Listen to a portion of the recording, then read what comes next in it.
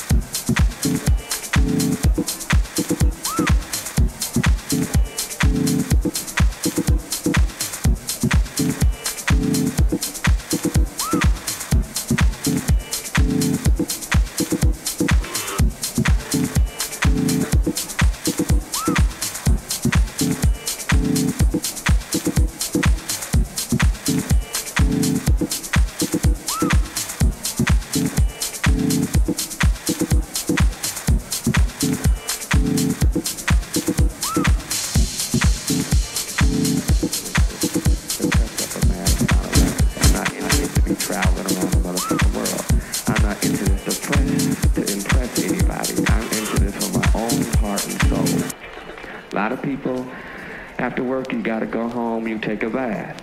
A lot of people go home, you fuck your wife. A lot of people go home, you cut your grass. I go home and I fuck that motherfucking MPC all fucking night. You understand? I probably, I'll probably release probably 10% of the stuff I actually do. Just because I go home and turn it on and fuck with it doesn't mean I'm making a track for the next EP. It's just something I like to touch and feel.